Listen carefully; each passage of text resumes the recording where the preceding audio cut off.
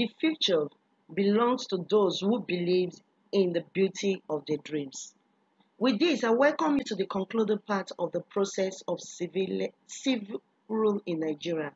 Our topic is uh, conducting elections and inauguration of elected leaders in Nigeria. Sit back and learn and enjoy the class.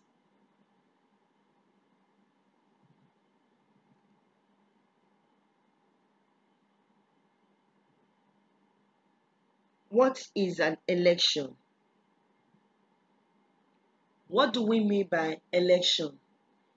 An election can be defined as the process of choosing leaders by voting for certain people to fill specific position in a government or organization. So when we are talking about election, we mean that process of choosing leaders by voting for a certain people to fill specific position in a government or organization.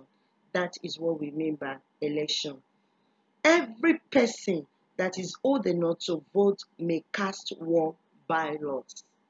That is one ballot, one vote. So if anyone that is old enough, they may cast one ballot.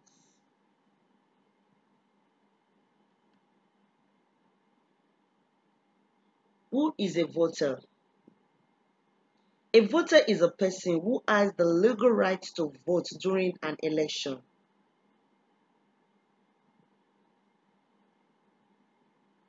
The people who vote in an election, they have what they call what? A voters or they can call them constituents. So a voter is a person who has the legal right to vote during an election.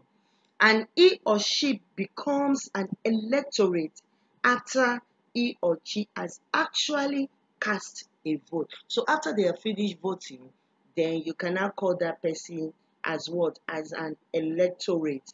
So a voter is the person who has the legal right to vote during an election. Then after he or she has cast the vote, then you can call them what as what as an electorate. The Electoral Commission in Nigeria in 1979 to 1983. Then it was called Federal Electoral Commission. That's what they call it, Federal Electoral Commission, headed by Mr. Um, Chief Michael Ani. That is from 1979 to 1983. It was headed by uh, Chief Michael Ani, and in 19, uh, in 1983, in 1983, the Federal Electoral Commission in Nigeria was um, headed, that is chaired by Justice Ovie Whiskey.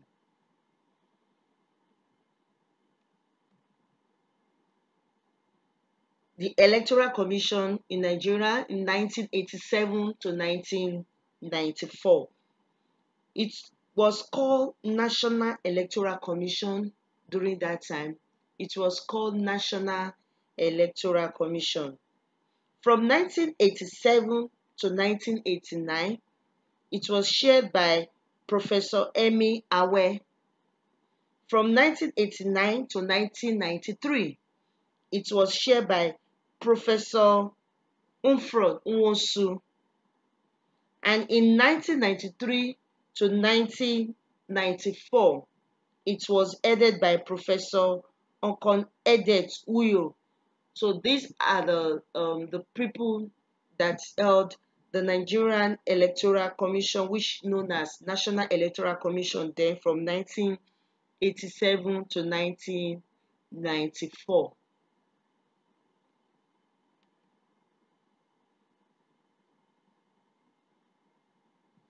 National Electoral Commission. That is what it was called in 1994 to 1998. So the Nigeria Electoral Commission is called elect National Electoral Commission. So you can see the different um, electoral commission that we had in Nigeria. Now, it, during 1994 to 1998, it was headed by Chief Sumner Dagogo Jack. It was headed by Chief Sumner Dagogo Jack.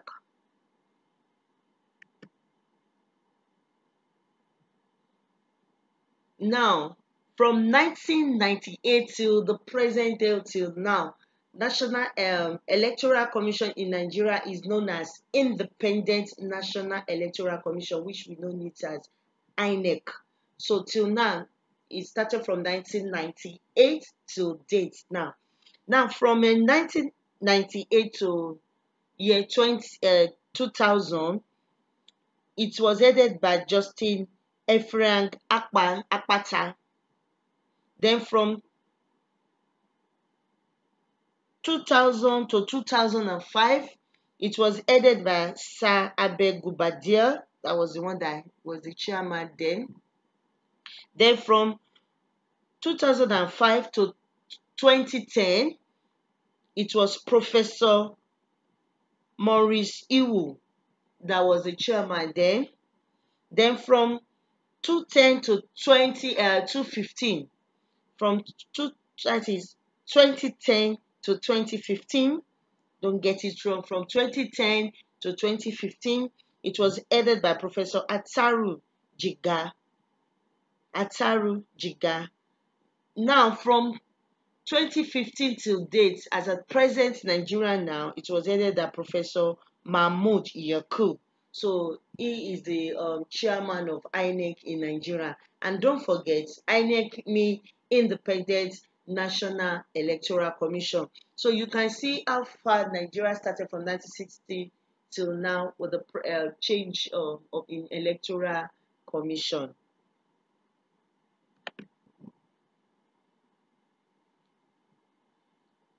Let's find out the functions of Electoral Commission. The primary function of the Electoral Commission in a country is to organize free and fair election at the various political office in the country. That is all the main primary function. The main duty of Electoral Commission is to organize free and fair election at various political office in a country. Other functions of electoral uh, electoral commission include registration of a prospective voters, usually um, people who are 18 years and older. So that is the, the first uh, other function that they register the names of a voter from age 18 and older. Then the second one is also the registration of political party that will present candidates for the election the registered parties. Uh, we discussed about political parties. So is the Electoral Commission that registered them. Thirdly, the division of the country into electoral constituencies and area. They are also um, the duties, the functions of Electoral Commission. They make sure that they divide the country into electoral constituencies and the area. The screening of candidates for election they also screen the, those people that want to contest for an election. Also, providing water, um, providing voter education to the people. So they, they, they, they uh, educate the people concerning on the voting uh, level, what they ought to do.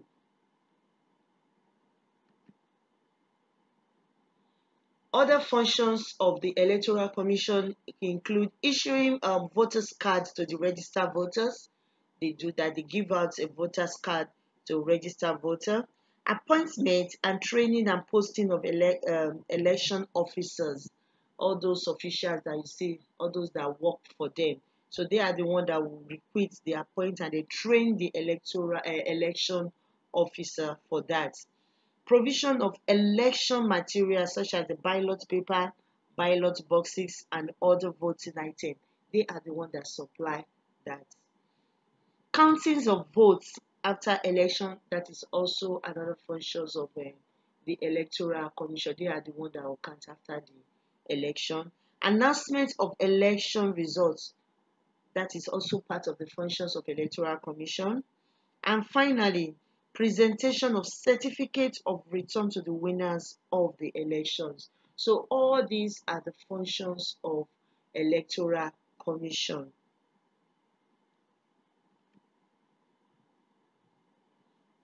Now let's find out the inauguration of elected leaders. Now what we mean by inauguration, that is uh, the final activities of an election is the inauguration of the winners of the election into various uh, political parties. That is when they are going to um, uh, officially hand over to them. Officially, the, uh, they will uh, they are going to make announcements of the, those that they are elected as a leader. So that is what we are looking at inauguration of elected leaders. And like I said, after election, the next thing is what is inauguration of the winner of the election into various uh, political uh, office. The Electoral Commission organized a swearing-in ceremony for the elected people. During the ceremony, the elected leaders are made uh, to swear an oath of office by a competent judicial office, uh, officer and are thereafter given the power and the authority to administrate the position. So you can see that. So once they uh, after the election, they swear the um, the elect um, the elected leaders into office, and they are also going to make an oath, which is done by the judicial official. And at the federal level, now I want you to take note of this. At the federal level in Nigeria, you know, we are talking about Nigeria. So at the federal level in Nigeria, it is the chief judge, uh, justice of Nigeria that administrate the oath of office of the president and the vice president. So at the federal level in Nigeria, the chief justice of Nigeria is the one that administrates the oath of office. That is, is the one that are going to uh, swear in the president and um, vice president. But at the state level, chief judge of the state is the one that will perform the same function, same duty for the governor and the deputy governor. So you can see the different federal level is the chief of justice of Nigeria that do that for the president and um, vice president. Where at the state level is the chief judge of the state that perform uh, that function.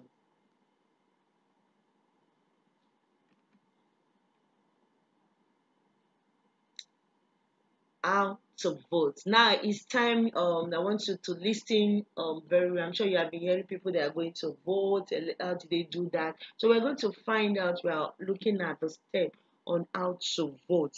We want to look at how to vote um, in Nigeria. Let me use that. How to vote in Nigeria.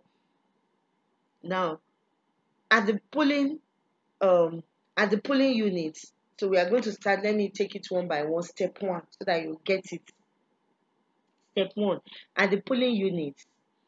the first thing to do is to join the queue, and the INEC official will check if you are the correct polling unit and confirm that the PCB present belong to you.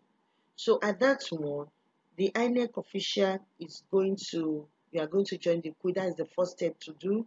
Then they will not check if you have a correct um, voter's uh, card.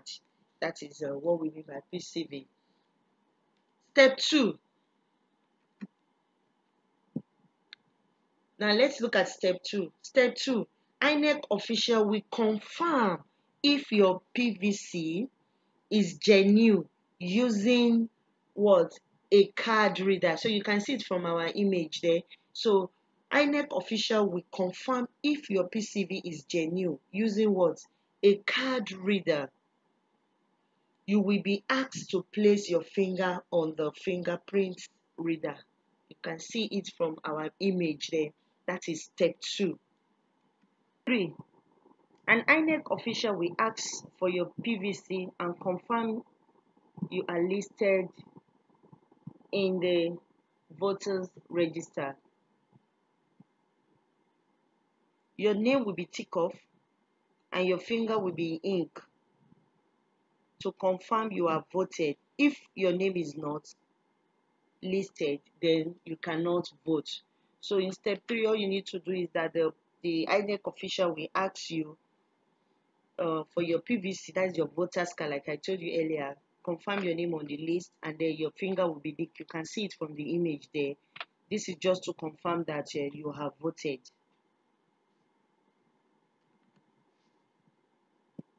Step 4.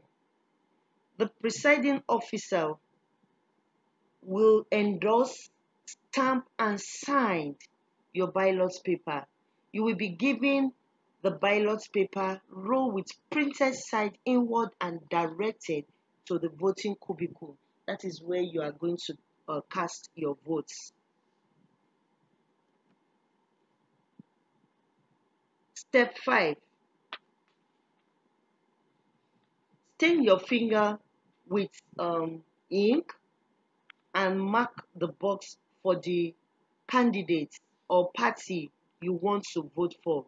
Roll the paper in the manner you were given and flattering it. As you can see from the image there, you put your ink on your hand and then you are going to paste it on the candidate that you want to vote for or any party that you want to vote for and then you roll the paper the way they are given to you.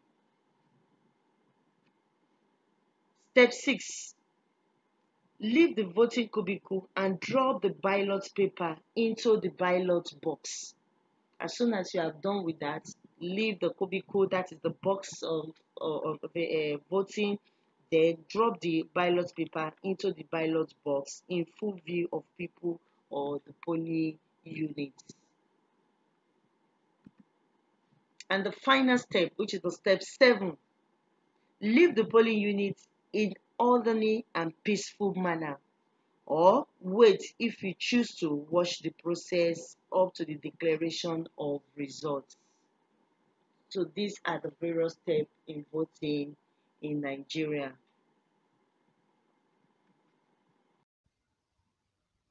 Wow, hope you learned a lot learning how to vote. Note that you must write down the seven step on how to vote in your notes.